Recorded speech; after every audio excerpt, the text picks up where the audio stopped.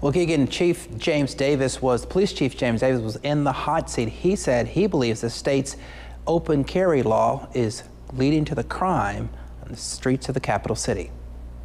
This is how Jackson's special Friday City Council meeting on crime got started. I can tell you, uh, you can see crime is down in Jackson. And I see kind of the, the discomfort in people's face when the statement is said that crime is down in Jackson, right? Because it doesn't feel that way.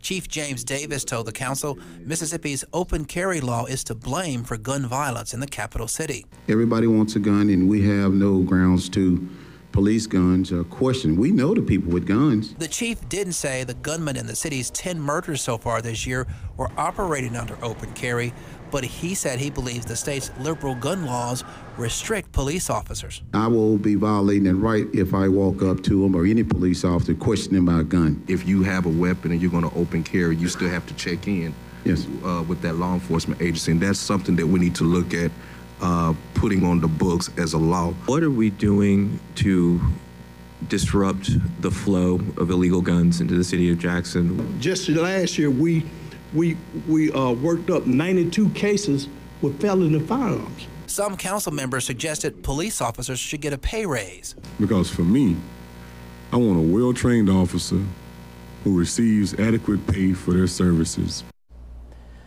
Mayor Lumumba met with Governor Bryant to talk about how the state can help the city. Bryant, you'll remember earlier this week, pledged $4 million to help fund a new center to monitor crime in real time.